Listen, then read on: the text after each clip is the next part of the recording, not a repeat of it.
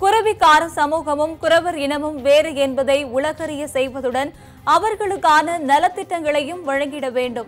தமிழக அரசிற்கு தேமுதிக தலைவர் கேப்டன் விஜயகாந்த் வலியுறுத்தல்.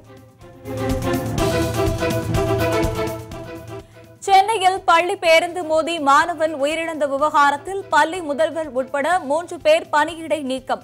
பள்ளி கல்வித்துறை பரிந்துரையின் பேரில் தனியார் பள்ளி நிர்வாகம் நடவடிக்கை.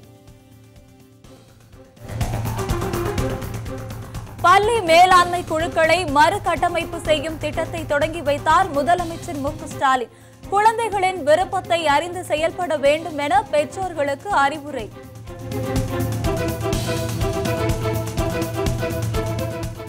தருமபுரம் ஆதின நிகழ்ச்சியில் ஆளுநர் பங்கேற்க எதிர்ப்பு தெரிவித்து கருப்பு கொடி போராட்டம். தமிழகத்திற்கு எதிராக ஆளுநர் ஆர் என் ரவி செயல்படுவதாக குற்றச்சாட்டு.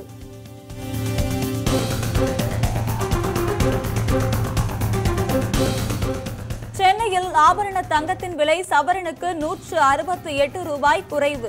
ஒரு கிராம் ஐந்தாயிரத்து இருபத்தி ஒன்பது ரூபாய்க்கும் ஒரு சவரன் நாற்பதாயிரத்து இருநூற்று முப்பத்து இரண்டு ரூபாய்க்கும் விற்பனை.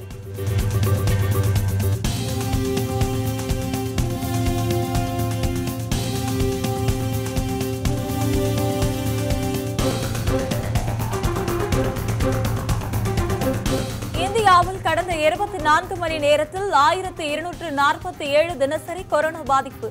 ஒரே நாளில் ஆயிரத்து தொள்ளாயிரத்து இருபத்தி எட்டு பேர் டிஸ்சார்ஜ் செய்யப்பட்டுள்ளதாக மத்திய சுகாதாரத்துறை தகவல்.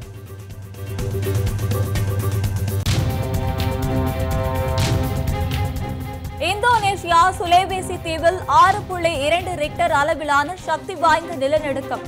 பொதுமக்கள் வீடுகளில் இருந்து வெளியேறி பாதுகாப்பான பகுதிகளில் தஞ்சம்.